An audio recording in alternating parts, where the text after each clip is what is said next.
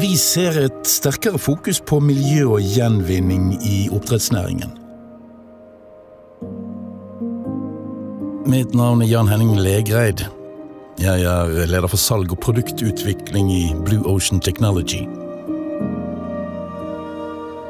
Vi produserer og drifter anlegg til avrenning av slam og rensing av avløpsvann, der det avrennede slammet transporteres til gjenvinning. Så du kan si at vi hjelper kunden med å gjøre et problem om til en ressurs, som igjen kan benyttes av andre bransjer og på andre områder.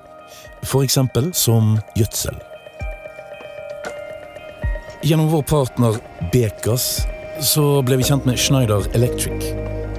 Og deres løsning EcoStructure Machine Advisor. Det er med denne løsningen her vi kan sende informasjon opp i skyen. Og bare ved å legge inn ønskede parametere, så kan vi fjernovervåke det vi måtte ønske. Om det er slik at en pumpe begynner å gå sakte, eller en sensor begynner å svikte, så kan vi fange opp dette på et tidlig stadium og utbedre. Dvs. Si uten å stoppe anlegget.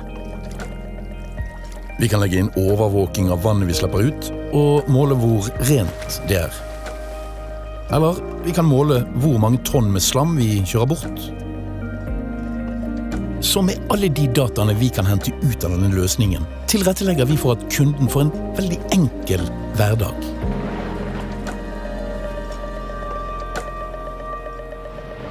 Via samarbeidet med Schneider får vi kontinuerlig produktutvikling.